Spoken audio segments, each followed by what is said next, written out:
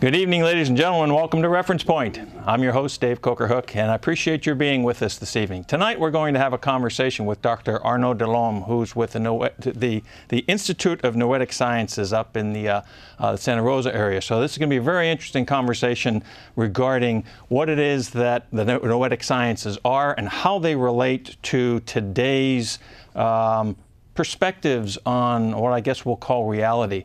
Dr. Delorme, welcome. Thank you for joining us here on Reference Point. Well, thank you for inviting me. Oh, no problem. And it's great that our Skype connections are working this month. So I'm really happy that we were able to, to, to get together here. So, you know, I was, um, you know, I did a little brief introduction here, but I thought it might be interesting to tell folks a little bit about your background because I was reading some of the bio on you, and you've done a lot of research in the area of electroencephalographic signal recording and interpretation and stuff like that. And it would be great to, if you could give us a little bit of that background and tell us how that relates to the work you're doing right now at the Institute. Yeah, so, uh, so that's brainwave research. So I did a lot of brainwave research, and I'm actually known uh, for having developed the software that's the most used software worldwide to process brainwave.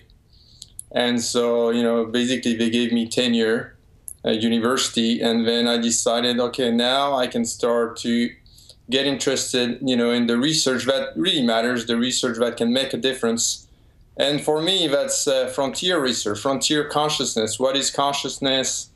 relationship between the mind and the body. Can we study these questions etc so that's that's my interaction with the institute of noetic sciences and that's how i became interested in, into these topics. Got it. So so your the work that you did in brainwave research was able to to lead you in this direction? Uh, how, uh, you know, I'm familiar with the concept of uh, EEG. They put the, the, stuff on and they check to see whether or not your brain's working and stuff like that. But it's more than that, isn't it? Isn't, isn't there a deeper possible uh, information that you can get from, from those reads, uh, readouts and things? Yeah, in uh, in clinical settings, they'll check, you know, whether you're conscious or not, you know, in anesthesia, or uh, they'll check basic things. When we do that in research, we do what's called cognitive tasks. So we ask people to do complex tasks like memorization and uh, all these kind of uh, laboratory tasks. Mm-hmm. And in my own research, so when I'm doing conventional research, and that's not what I do at the Institute of Noetic Sciences, it's more non-conventional at the Institute of Noetic Sciences. But when I do conventional research, I am most interested into uh, a process that's called mind wandering. It's like when your mind starts wandering, mm-hmm. like when you you know you're reading a book and then your mind starts to wander off. So I'm interested into what mechanism in the brain happens when you just lose track and why do you come back. For me, it's it's at the core of uh, you know con- human consciousness as well. Like you know, even if you want to stay concentrated, you can't. You just brain just goes off. just goes know, where it wants to go, right? Yeah. Uh, we sometimes think that that's uh, something, then organ that you can control, that the mind is something you can totally control. I don't know. Yeah, and that's very interesting because expert meditators, you know, would like train 10 hours a day, like for months in retreats. Uh-huh. They, they realize it's impossible. You can't do that. You can't do it. Even though you think you can do it, you can do it for one minute. You can do it for two minutes, but you know, more than two minutes, nobody I mean, you know, maybe expert meditators they can they can hold it longer, but nobody can really control that. So that's more my conventional line of research, university based. So let's move over to the work that you're doing at the institute. And before we dig into that, it might be might be helpful for the the viewing audience and, and to give me a little bit more understanding also is to get a sense of what the noetic sciences really are and what exactly the Institute does. Yeah, so the Institute was created in 1976 by Edgar Mitchell. He had is like one of the few astronauts that walked on the moon. Right. Then he had this experience, spiritual experience on the moon as he saw the Earth rise on the moon, surface of the moon. And then when he came back to Earth, he created this institute to study the interface of spirituality and and uh, and science. Okay. So that's how the institute was was created. What was the second part of your question? Well, what what what would constitute noetic sciences? Is it is it one particular um, body of activity, or or there? You know, when we talk about science in the conventional sense, there's physics and chemistry and biology, et cetera, and they're all considered sciences. So, are the noetic sciences a a group of different um, topics, or is it a a focused topic?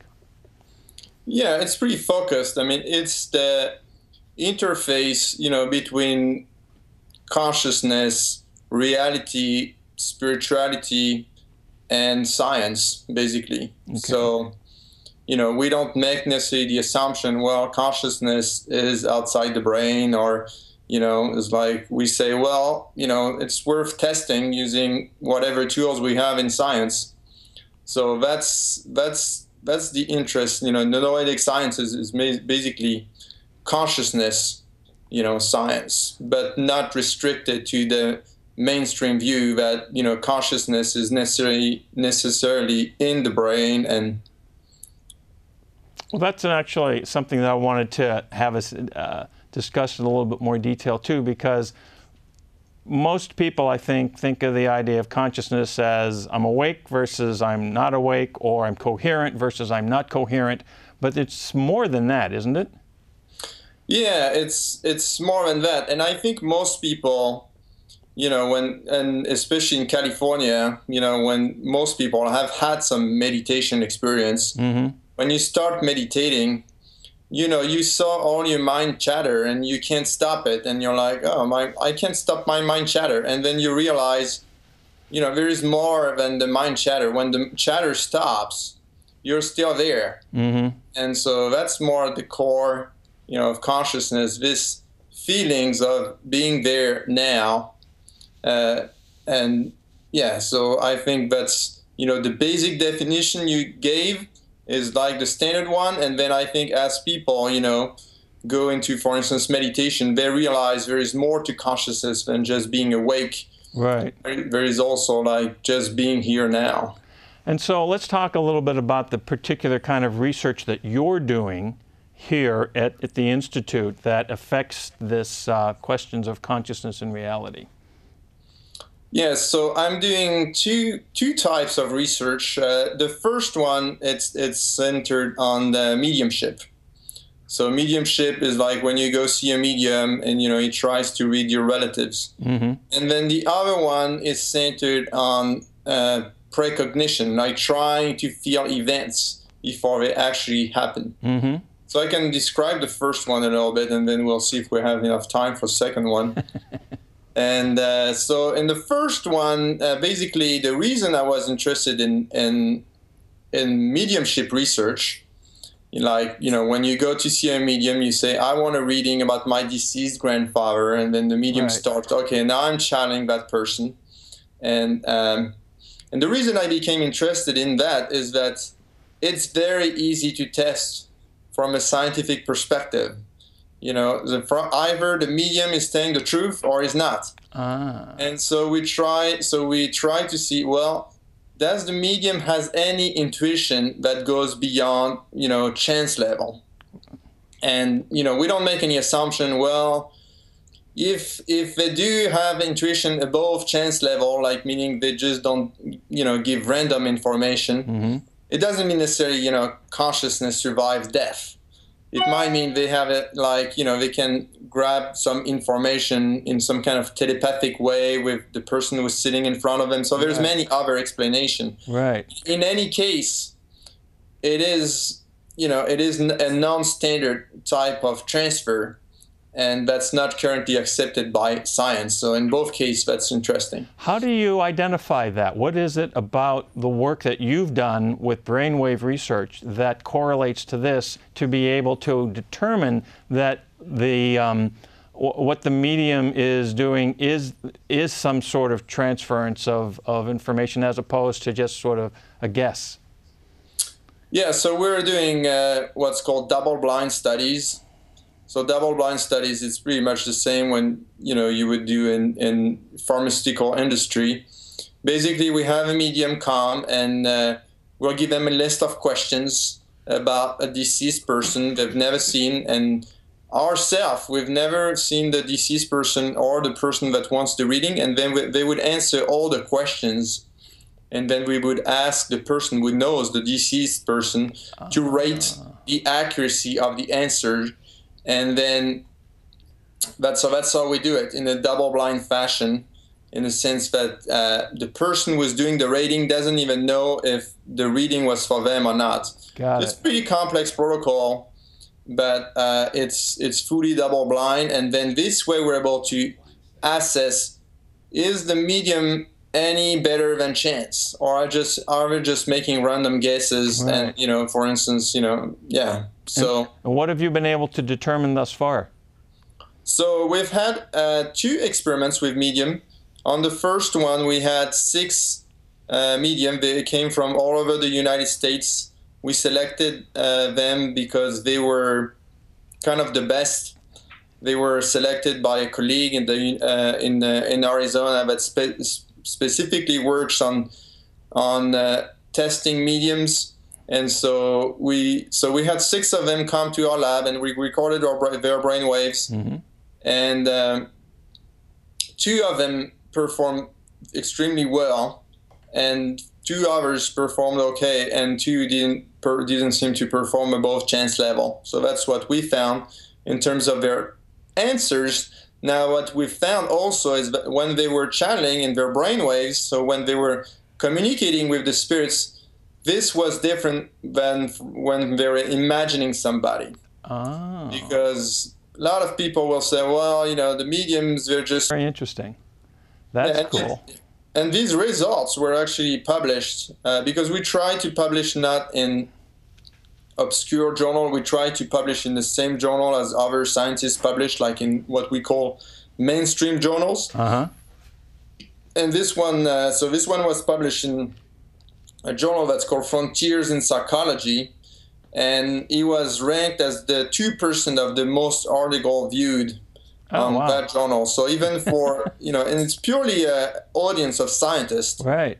and uh, even for scientists, they're very interested in this topic, even though they don't want to mention it. Yeah, I, I can I appreciate that. Well, I want to. I want to, uh, I want to ask uh, and have you start to, to tell us a little bit about the other topic you mentioned. But before we do, um, one of the things that I remember reading uh, as I was looking over information on the website for the Noetic Sciences, the Institute of Noetic Sciences, is you know part of the mission is to explore the questions about the makeup of the universe and you know to what de- uh, I think the the statement goes. Um, explore the questions about the makeup of our universe and to what degree, if any, so and and uh, to what degree the research has been able to um, uh, things that have been able to be more broadly employed out there in the scientific community or, or the community in general. Do we have any any things that uh, the institute's been around a long time? What are some of the specific successes that have been able to go into mainstream? Uh, so that has been, for instance, uh, if you consider like meditation research, you know, meditation research was not like, if you look like 15 years ago, there was nothing in meditation research. There was, you know, you have to go back to 1970s, and then you had a few researchers that went to India with their brainwave uh, apparatus, but then, you know, for more than 20 years, nothing happened. And uh, so the institute was pioneer in bringing these topics uh, into into the mainstream. And right now it's mainstream. There is like federal grants supporting meditation research, and uh, you know, so Is Uh, that is that in terms of what is um, happening as far as brain activity and conscious awareness and that sort of thing in a meditative state? Is, is that what you mean by the research, or Yeah, that's what I mean more by, you know, like researching this frontiers topic, like even from the very beginning, like uh, um, Edgar Mitchell was emphasizing, you know, the importance of, you know, meditation and all these mental states. And, uh, and this was completely ignored by the mainstream. So, but we believe like the institute was giving small grants and there've been research that has been done over the past uh, 30 years at the institute which uh, I believe you know have influenced the mainstream in in that way. And then we also have, um, you know, so so there is like uh, so all the mental states research. So we're advocating, you know, you you have to study these more from a first person perspective, Mm-hmm. and you know, like try to understand what's happening in people's uh, people's mind and try to you know study that in a scientific way. And right now it's well on the way. And then the other uh, focus of the institute has been all the the work in in what we call psi research, Oh, okay. or some people call parapsychology. And there as well, there has been some some uh, some improvements over uh, over uh, what was done before, and there's still a lot of work to be done. And I mean, I believe in the process of science. So you know, if you have the data, and the data is robust, eventually, you know, like even the skeptical scientist will will come to accept it. Right. Well, I think this makes it's interesting to me, especially what you just mentioned in terms of the, the parasciences, which I believe was the other topic that you said that you were uh, putting some attention on, because there's been a lot of conversation, discussion, uh, military research into some of this stuff over the decades and that sort of thing because people have had cognitive experiences, precognitive experiences, or whatever, and at the same time, there's no um, definitive um, uh, something that you can look at and say this is what's happening and this is what's going on in the brain, et cetera, et cetera. So I'm interested to kind of make that transition now into your precog research because that's more of the parapsychology concept as well, and and what your uh, and activities, your research, and, and your projects have uh, uh, uncovered in that area. Yeah, well, I mean, the medium, the medium study I run, you know, we're also in the realm of psi research, but so and also, you know, you mentioned the military. Actually, uh, one scientist at the institute, and there was one that was there before, but uh, she's not there anymore. Have been involved with the research that the military uh, was doing. They were the one who actually did the research under contract for the military. So, uh, so in terms of the precognition, so there is uh, about two years ago uh, a paper made the uh, New York Times uh, was in the New York Times describing this professor at Cornell University that showed that you know when you present some images, people are able to uh, to get a sense of uh, of what's in the image before even it appears. Mm-hmm. And um, so the way the experiment ran is that you show some images and then you have to press, okay, I think this image is positive, I think this image is negative, and so you just press a button with your finger. And just after you press the button, there is like a, a cue that appears. And then it either say, okay, nice or ugly, for instance. Okay. And it's either congruent with the picture, like it, you know, it's like if you have a nice picture, you press the button and then you have the word nice, then it's congruent. Or if it's ugly, it's incongruent with the picture. Mm-hmm. And what he showed is that uh, on the 100 uh, subjects or participants, is that when you have congruent, like nice picture and, and nice word, or ugly picture, ugly word, the people are faster at pressing the button than when it's incongruent, like nice picture, ugly word, etc. Well, that's interesting. So that was like, you know, that made the New York Times, and uh, it was also uh, in the Colbert Show. It was in many shows on TV, etc. But uh, we were interested at the institute to try to reproduce these results. So we decided to collaborate with him, and instead of running 100 subjects, uh, we're running 640 uh, Oh, wow. subjects. And we're also interested in testing because we can't run all the 640 uh, participants ourselves. Uh-huh. So we, we kind of hire what we call uh, experimenters to run this, the study. And we want to see does the experimenter belief influence the outcome? Because there is a lot of debate.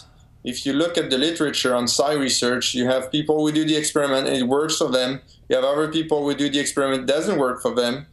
And the people for which it works believe it's possible. The people for which it doesn't work believe it's not possible. Ah, okay, self fulfilling prophecies. yeah, and so that's why in this specific experiment, we are going to hire uh, experimenters and they're going to run 20 people each. So we have 32 experimenters times 20 people, that's 640 participants. And then we'll be able to say, oh, okay, does it work better when the experimenter believe it's possible than when they don't believe it's possible? So, so that's what we're doing in the realm of precognition, and we're doing that with this professor that's called Daryl Bem. And uh, the experiment, the idea of doing this experiment was uh, Marilyn Schlitz, and I assist her in, in designing and conducting the experiment. Very interesting. That should be. I'd be interested in what the results are in that one because it it, uh, it, it would be interesting to to have that determination as to whether the perspective of the person administering the test has an impact. If that can be eliminated as a variable, then then that'd be a good thing, I would guess. Yeah. So uh, that, we've got maybe you know six or seven minutes left here in our show. One of the things I, I mentioned to you that was uh, a question I had that I want to have us talk about for a few moments. You know, there's um, it seems to me that what what the research that's being done at the institute is really uh, trying to reconcile the the differences between what uh, Western um, science and physics, et cetera, has talked about. Here's what, what, who we are, what we're doing, how the makeup of the universe, etc., and what the uh, some of the Eastern philosophies have uh, looked at for a long time. And so right now we've got this these um, uh, main, well, I don't know if I call it mainstream, but the, the, the, physics activity going on in CERN with the Large Hadron Collider, they're trying to figure out what makes the universe tick. And it's it, it seems I'm I'm curious to get your perspective on this because it seems to me that there is a uh, a true overlap here between where we're going with the physical sciences and, and, physics and what they're beginning to learn about how things go and how things are, and what has been uncovered, or shall we say, rediscovered through the research that you guys are doing as far as the, the human condition and what we as in, individuals can accomplish. So, is, am I reading more into this than is really there, or is there some sort of? No, there is definitely something. I mean, the I'm working uh, a lot with uh, Dean Radin. So Dean Radin is the chief scientist at the Institute of Noetic Sciences and he has this line of research that focuses on can you possibly influence physical phenomena you know with your mind so he's working on experiments like smaller scale than the CERN, you know, mm-hmm. because we don't have the same right budget, you know. Right. It all depends on donations, and uh, and so, but you know, it's still uh, experiments like that demonstrated uh, the nature, you know, of quantum mechanics, and you know, like the double slit experiments, for instance. Is light a wave or is it matter, or you know, is it a photon, like a particle? Mm-hmm. And depending on actually the observer, depending on the observer, uh, the light will change behavior. So it's usually through, you know, if you look with a microscope, not a microscope, but, you know, like a measuring uh, device, uh, if you measure light, it tends to behave more like a particle, and if you don't measure it, it tends to behave more like a wave. Oh, really? And that's yeah, that's how it demonstrated nature of light, and so we're pushing that idea further. Is like, well, can you just without the apparatus, can you just like imagine you're observing the light, and does it tend to behave more like uh, like a wave or more like a, a particle? And so that's that's the line of research he's been pursuing and he's been pretty successful at it. And you know, uh, we've had data from uh, more than a thousand subjects. We run experiments online to gather a lot of data, and the results are very promising. And we're published in, in mainstream journal like Physics Essay. Wow! So so we're we're now there. It's been reproduced. There is a German group that's trying to reproduce the results mm-hmm. we've obtained, but that's definitely uh, an interest at the CERN, really the consciousness is not in the picture. Right. Even though like the pioneer, you know, of quantum mechanics, like, uh, you know, they were they were consciousness was an integral part of the, you know, they were saying, well, you know, it's like the collapse. Right. Basically, the you know the quantum effect happens when the the person actually is looking at the measurement device that's looking at the photon. It doesn't happen if only the measurement device uh, is there. So, so there, has been some evolution right now. Uh, physicists are, you know, they have this uh, this philosophy that's like, well, quantum mechanics is so weird uh, it's you know the there was a conference in the 1930s that just said well shut up and calculate that's it that's and and that's that's still there right now like there is no interpretation what it means etc because the you know it's like maybe it is beyond what we can understand maybe it's right not to want to interpret but um, yeah it's it's not intuitive at all and they decided okay you know like we're just going to look. We're just going to shut up and calculate. And consciousness is completely outside and forget of about forget about the consciousness part of it. But it sounds Yeah. like what you folks there at the institute are doing actually complements some of the particle physics activity. We're actually run out of time here. So I'm going to have to say that we need to wrap up. I really appreciate your being here. I do want to say one thing to the folks I neglected to say earlier, and that is if you have any questions for the doctor or about what we're talking about here for the Institute, send us an email at info at referencepointtv.com and I'll make sure Dr. Nudwang get, gets that information and maybe we can get your questions answered. This has been a fascinating conversation, Doctor. I really appreciate your setting this time aside to do it. And um, maybe we'll get a chance to do a follow up in the near future on the results of some of your other uh, your current experimentation. So, thank you for joining us here. And ladies and gentlemen, I appreciate your coming, and we'll see you next time on Reference Point. Thank you.